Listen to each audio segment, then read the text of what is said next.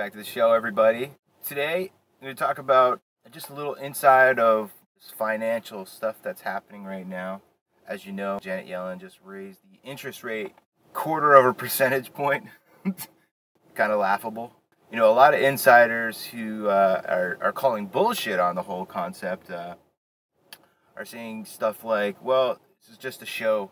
It's just a show. You know, they're just doing it to show that the economy is in the upturn when it's really on the down.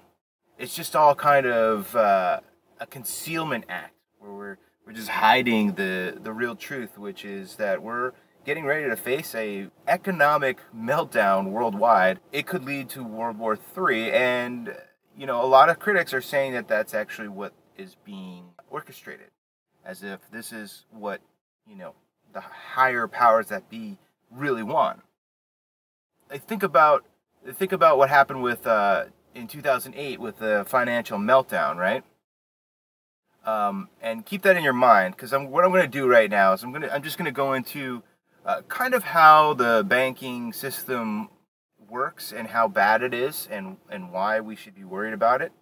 Okay, look at look at the banking system. What what what happens with the banks, right? So the banks they loan money. So let's talk about countries that are small countries that are, you know, on the verge of bankruptcy, right? So what they do is they include these banks, right? So small countries. They they take banks money, right, at insanely high interest rates. The interest rates are uh, so high that the banks know the banks know very well that there's no way this these struggling countries or these these states or whatever could ever pay back the money. And that's why they lend the money in the first place. Because when the country can't pay back its debts, what happens? Well, the banks move in and start collecting land. They start collecting the country. They have complete and utter control over the entire country because, hey, they've they've they've locked down the risks of the uh, of the state or of the of the the country. Just speculate on the whole concept of what happens when that happens. When they foreclose, when the country, when the whole fucking country forecloses on a, uh, you know, on a deal of these magnitudes, when, when you're talking about hundreds of billions, maybe even trillions of dollars worth of money that, um, that the state is, is, you know, out of, and there's no way to pay back this stuff. There's no, there's just no way to do it. Well, that's when the banks come in and start collecting shit. They collect whatever they want. It's part of the deal. It's part of the way it's structured and it's and it's fabricated that way. The thing that's really bad is that the, the banks orchestrate it from the beginning. So they make it hard for the countries to even have money to begin with. Then when they obviously when they've created this struggle, when they've created a, a problem for the country, um, whether they, they, they lock off resources, whether they um, create droughts, whether they create famine, whatever they do, where it puts the people of that country to say, our, our leaders need to step in and do something, whatever it is. Like, look at Greece. Greece is a perfect example because that's exactly what happened. And, um, you know, the, the, the leaders of Greece are trying to not, they were trying to not take any, any money because they knew what was going to happen. And the people didn't care. The people were starving. The people didn't have money in their banks anymore. The people, you know, it, it was just a huge, a huge crisis because of it. Meanwhile, the banksters, we'll call them, uh, the the gangster banksters, they uh, say, well, you know what? We can fabricate we can fabricate the demise of Greece, and um, we can take it over. All we have to do is create all these these really fucked up situations for the people. After a while, the people will demand action from their leaders, and the leaders will have no other choice but to uh, to submit. They're gonna have to take our money, and the second they take our money, in a few years or less, they're going to be bankrupt again. And this time, they're not going to be able to pay off the debts that we've given them. And so when that happens, guess what? We come in and take it over. That's how it works. That is exactly what happens everywhere around the world. In some degrees, it's already it's happened in in America. It's happened in all the great uh, the great nation states of the world it's already been compromised. I mean, just think about where the money goes. It's all been compromised. The people that have the money have the power. They write the laws. They make the fucking the history books. They're the ones that are in charge of everything. And if you don't think so, then you need to slap yourself in the face, pour some coffee on your head, and wake the fuck up. Because that's that's truly what it is. Put this together with uh, the financial collapse in America and pretty much worldwide in 2008. It was a manufactured crisis that we created.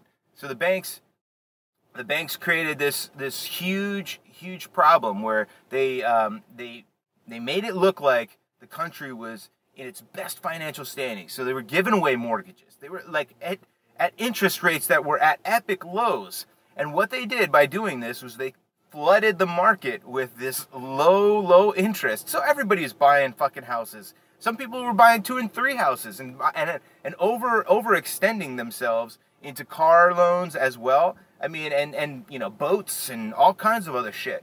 You know, here we go. We're we're at the top of our game here. I can afford three mortgages. I got four cars in the garage. I got a boat. Yo, I got a motherfucking boat, son. I've got my flippy floppies and shit. You know, like this is this is what what happened. Every mortgage was like a bundle of kindling for this brand new fire that we're about to light. And all the while, you know, we just keep they, they just keep lending and lending and lending. The banks are saying, "All right, listen, we're we have a certain agenda, so just keep lending." Even the lenders are like, uh, "We can do this. We can keep doing." Oh yeah, well, you know what? I'm not going to ask cuz I'm making commission. I'm I'm doing good as a mortgage guy. You know, I'm I, you know I'm working in the mortgage field and I'm making shit ton of money. You know, everybody's making money. We're just fucking.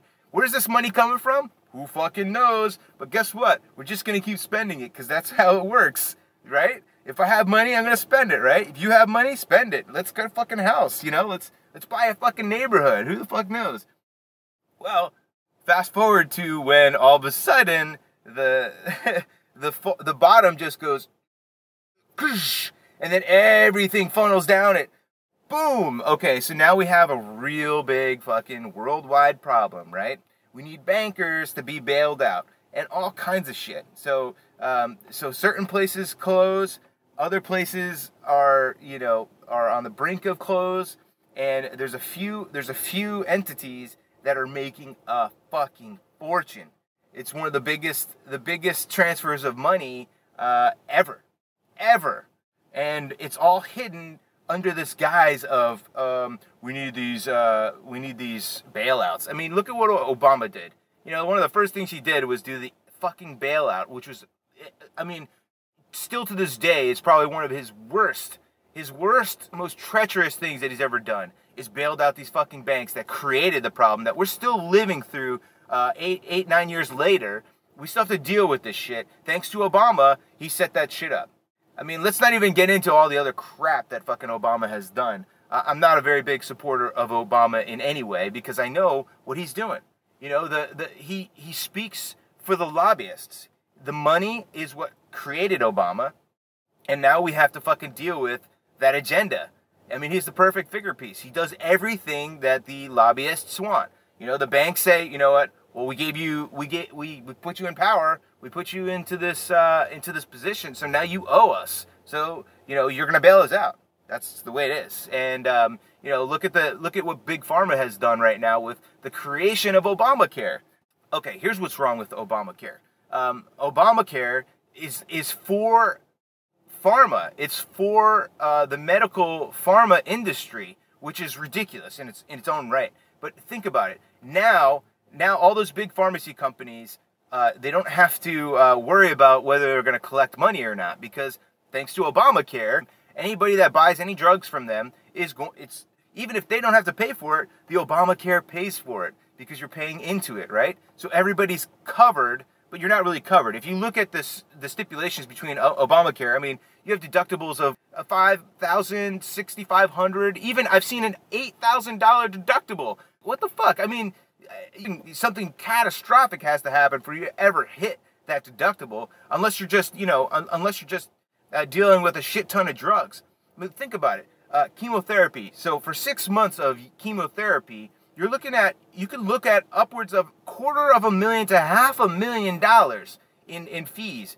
And chemotherapy, I'm sorry, uh, a bag of chemotherapy can cost upwards of fifteen thousand dollars. That's just one fucking IV bag could cost that much money.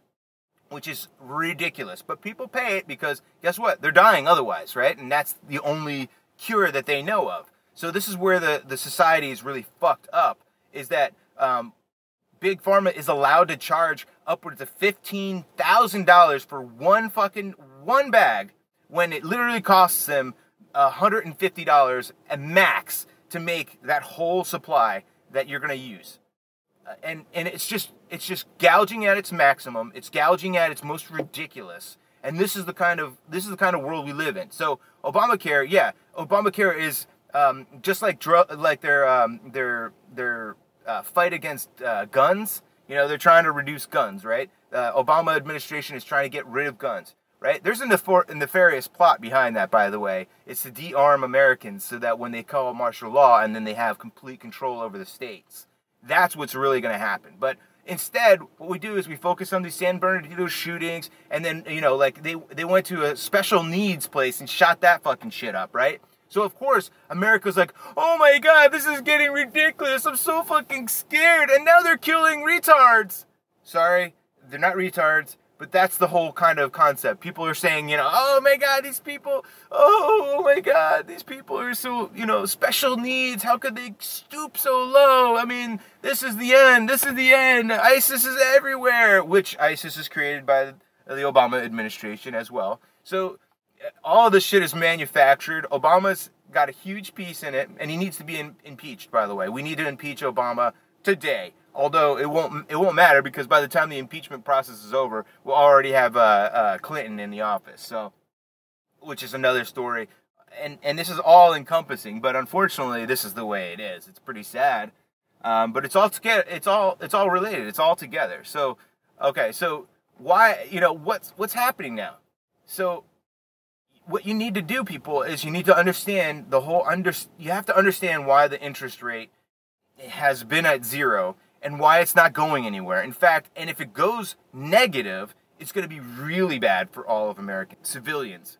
Okay? Now, please, please go home or check this out right away. Understand why the interest rate being at the way it is is really bad for for everybody. Why are we about to hit World War III with with uh, Russia, and why why are the oil um, prices so damn low? And if they're so low, why are we not paying like 50 cents a gallon at the pump? That's another question that we should be uh, worry, wondering about as well. We should understand what happens when martial law is called into effect. We have to know this kind of stuff up front so that we can make a better informed decision and turn the fucking CNN, Fox News, MSNBC, turn off that mainstream media right now because you're not doing yourself any favors. You're just listening to more brainwashing. Everything is brainwash. Everything is brainwash.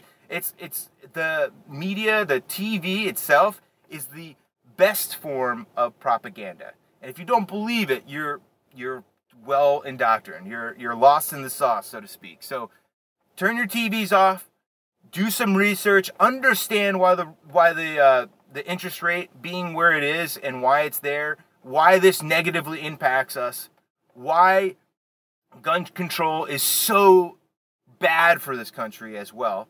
Um, you know, guns don't kill people. People kill people. I mean, if you want to have that same mentality, okay, there was a 12 car pileup. Well, all these cars are to blame. We got to stop having cars. We got to remove cars from our, our from our day to day lives. You know, so we can only have what we're gonna have teleportation devices to get us back and forth, right? And then when the teleportation devices start going wrong, then it's the tele. You know, uh, this is the thing you can't just keep hiding shit under the rug. Just keep putting stuff under the rug like it's like it's gonna like it's gonna fix the situation. I mean, I'm not anti-government. I'm anti the people that are corrupted with the power of government. That's what I am not not for.